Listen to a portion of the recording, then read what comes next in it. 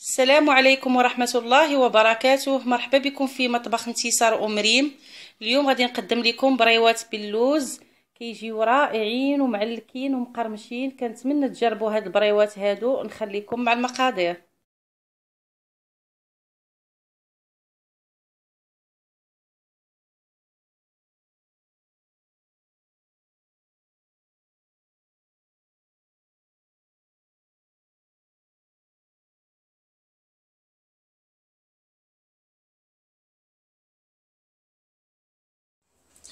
بالنسبة للمقادير ديال هاد البريوات هادو غادي نحتاجو نصف كيلو ديال اللوز آه سلقته وقشرته وقسمته على جوج آه 250 غرام.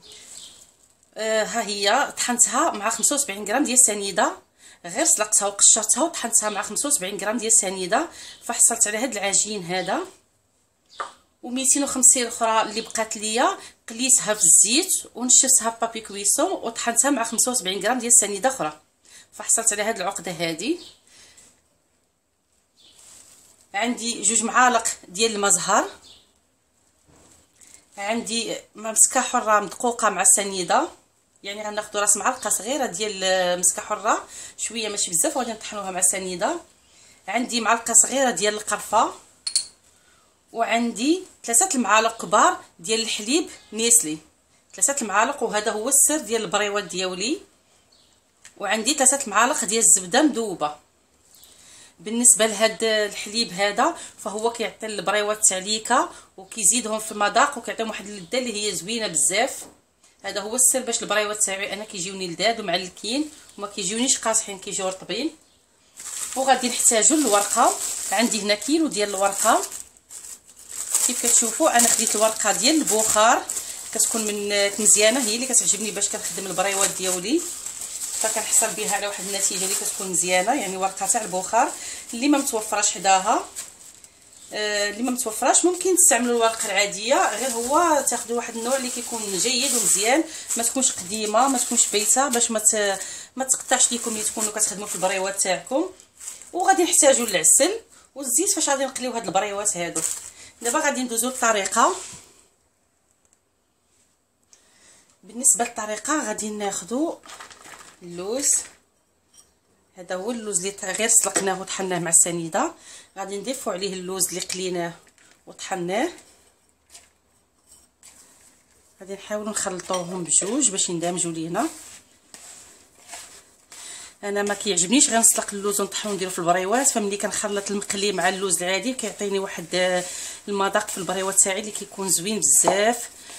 ولذيذ وكيجيو معلكين كنتمنى تجربوا هاد البريوات هادو لأنهم غادي يعجبوكم.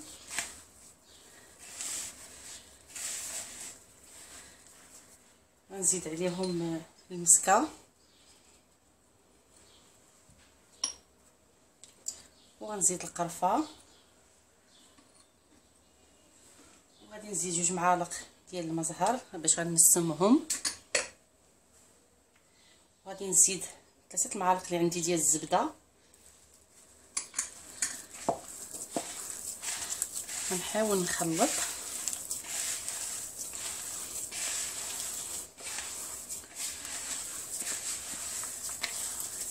كيف كتشوفوا أنا ملي كنديروا نص كيلو ديال ديال اللوز فكنطحنوه مع نصف العبار ديالو ديال سنيدة. أنا نقسم العبار لأن عندي الحليب كيكون حلو.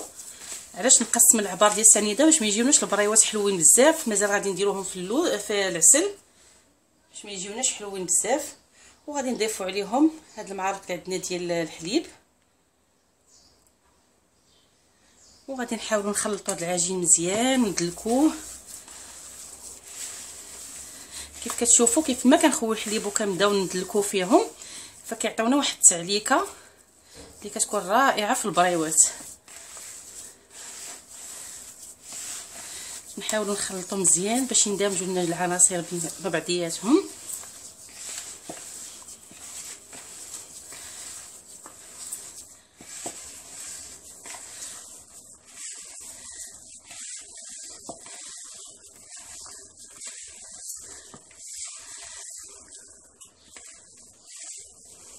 صافي ها هي العقدة ديالتي جاهزة.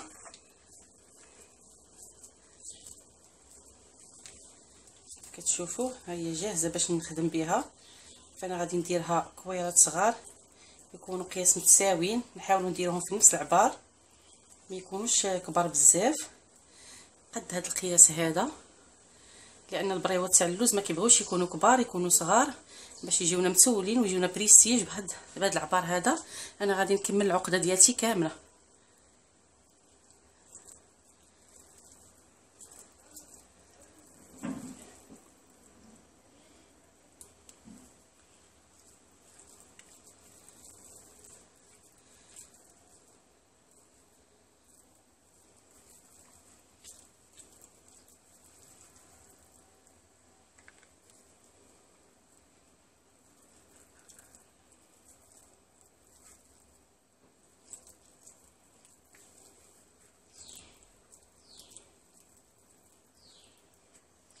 صافي أنا غنستمر بنفس الطريقة. تنكمل الكميه اللي عندي ديال ديال العقدة كاملة ونتلاقاو باش نشكلوا البريوات تاعنا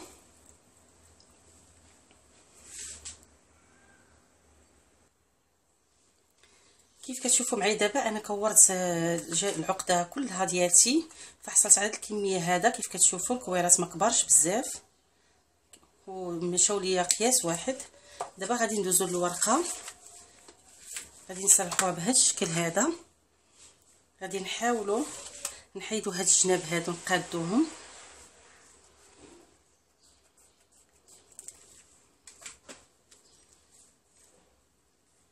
وغادي نحاولوا ناخذوا قياس 4 سنتيم ماشي بزاف ونقطعوا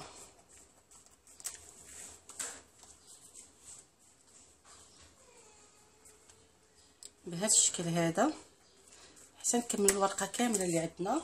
نحاولوا نديروها في واحد البلاستيك باش ما تنشفش لينا الورقة. صافي ونخدموا البريوات ديالنا.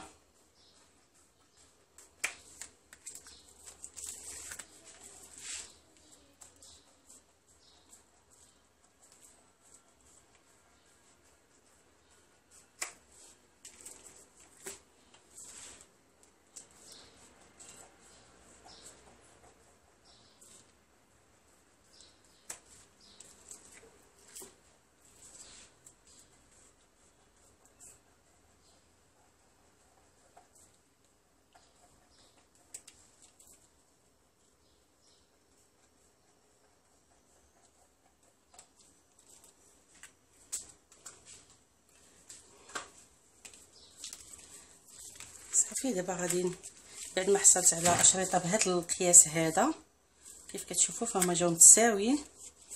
دابا غادي ندوزو باش نشكلوا البريوات. صافي دابا غنعمروا البريوات ديالنا. فأنا درت هنا شوية ديال ال force خلطته مع الماء وطربته بهذا الشكل هذا باش حصلت على العجين هذا باش غنلصق البريوات ديالي. غادي نحتاجوا الزيت وواحد آه، فرشاة باش غادي ندهنوه. آه، كيف ما كتشوفوا أنا ما كنديرش البريوات الزبدة. لا البريوات البسطيله أي حاجة فيها الورقة ما كنخدمهاش بالزبدة لأن الزبدة فيها واحد النسبة تاع الماء فما كتعطيناش القرمشة زوينة في البريوات ديالنا. أنا كنخدم غير بالزيت. آه غادي ناخذ الورقة. أنا خديت الشريط تاعي كيف كتشوفوا. الجهة الحرشة هي اللي كتكون الفوق والجهة الرطبة الملسه هي اللي كتكون من تحت. غادي نسرحوا هذا الشريط ديال الورقة بهذا الشكل هذا. غادي نحاولوا ندهنوه بشوية ديال الزيت. غادي ناخذ غنطويو هنا واحد الطويه الأولى بهذا الشكل هذا بحال المثلث. غادي نحطوا الكرة ديال ديال العقدة وغادي نلفوا عليها بهذا الشكل هذا وحنا غنهبطوا كنحاولوا نضغطوا شوية بيدينا. غادي نلفوا هكا. حنا كن كنلويو وحنا كنعطيو الشكل مثلث لهاد البريوة هادي. وما نخليوهاش هكا ما نخليوش الكرة هكا طالعة. كنحاولوا نبسطوا هكا بيدينا.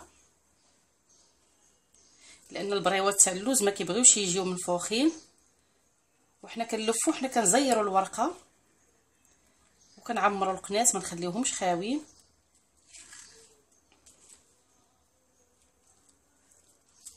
بهذا الشكل هذا كنجيو هنا كنحاولوا ندهنوا غير بالصبع ديالنا ندهنوا واحد شوية. نقطع أنا هذه شوية غريضه كيف كتشوفوا؟ أنا حصلت على شكل بريوة. هانتوما كيفاش كتجي؟ راه ما كتكونش من كي قلت لكم كتكون مبسطه وبهذا الشكل هذا وبطريقه سهله كنحصلوا على بريوات اللي كيكونوا لداد ومعلكين نفس الطريقة كندهنوا الورقة الجهة الحرشة ديما من الفوق والجهة الملسه كتكون من التحت. كنطويو هنا واحد الطويه على شكل مثلث. كنحطوا العقده تاعتنا وكنبداو نطويو.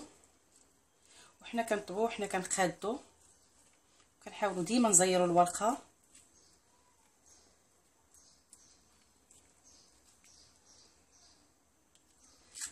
ديما العقدة نحاول نعمروا بها حتى القنات ما باش ما يجيوناش خاويين. ونحاولوا القنات نسدوهم باش ملي نبغيو نقليو هاد البريوات ديالنا ما تخرجش لينا العقدة منهم. أنا غناخذ مقص نقطع هاد هاد الحاشيه شوية قاصحة.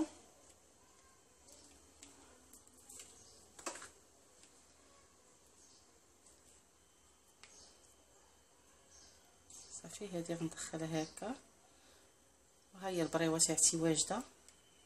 ما كتجيش كبيرة كتجي متوله في القياس ديالها.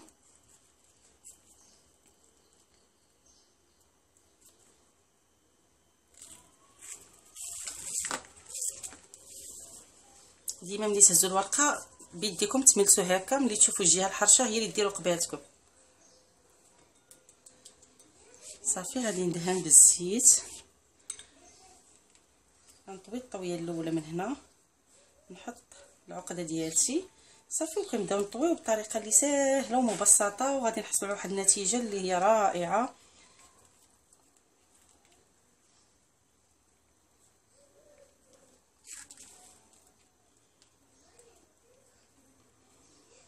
ملي تبغيو طويو شدوا من القناة من هنا. طويو بهذا الشكل هذا. وأنتم كتعمروا في القناة.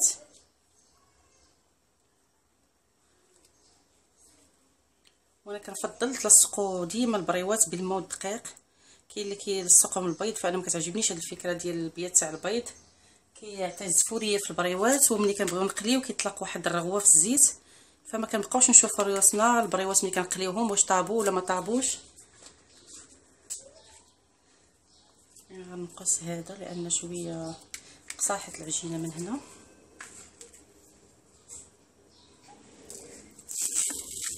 صافي. أنا غادي نستمر بنفس الطريقة. تنكمل البريوات كيف كتشوفوا معايا البريوات تاعي كملتهم. هانتوما كيفاش كيجيو.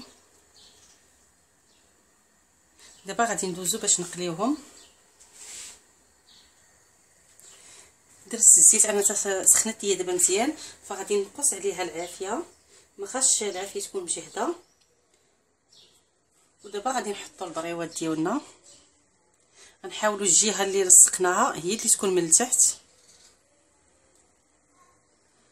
بهذا الشكل هذا.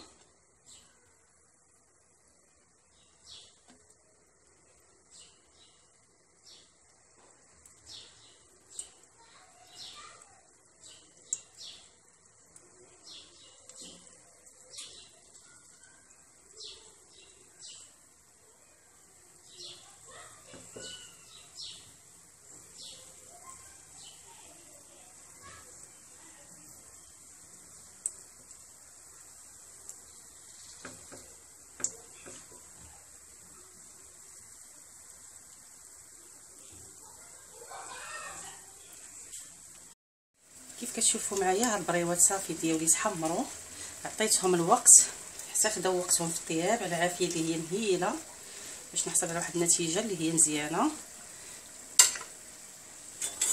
دابا أنا غادي نهزهم. بالنسبة لهادو اللي تحمروا دابا.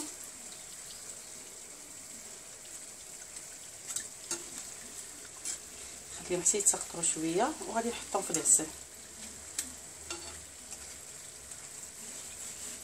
العسل بقى شوية.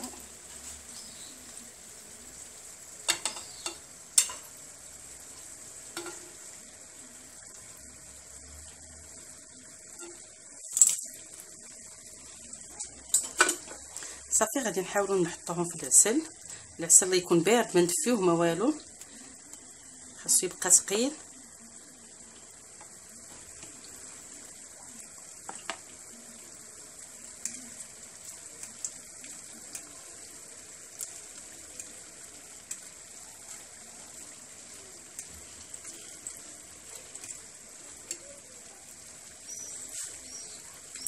كتشوفوا أنا ما كيتحلوش ليا البريوات في, في الزيت لأن الطريقة باش كنسدهم مزيان ما كيتحلوش ما كتخرج لا حشوة من القنات لا والو.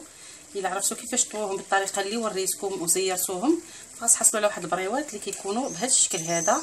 ما كيتحلوا ما كيخرجوا لا من القنات لا حتى شي حاجة.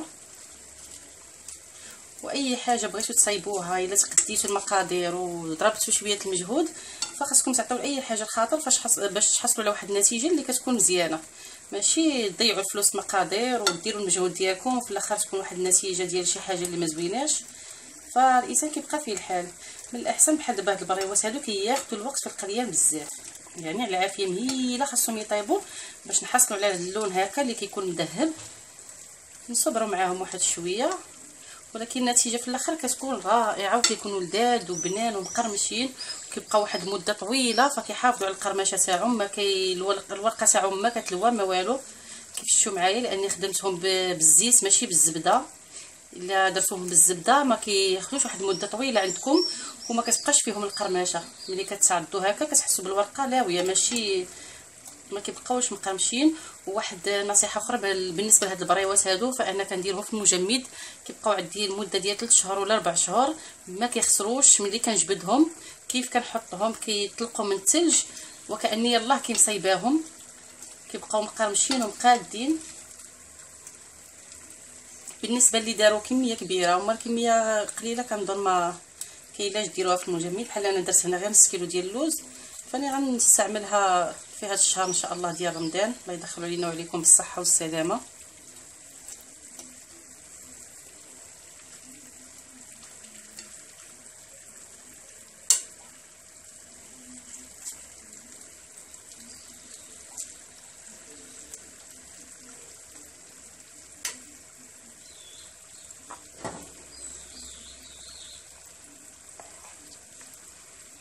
كنحاولوا نخليوهم هكا في العسل. واحد المدة باش يشربوا لينا العسل مزيان ومن بعد هانتوما كيفاش كيجيو؟ كيجيو رائعين. ومن بعد كنسطروهم وكنستفوهم فشي بواطة ديالنا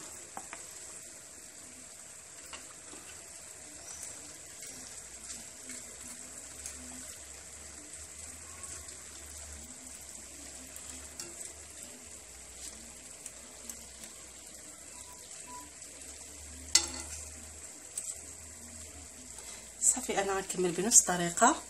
وملي إن شاء الله نكمل الكميه اللي عندي كاملة. نتلاقى معكم باش نوريكم الشكل النهائي للبريوات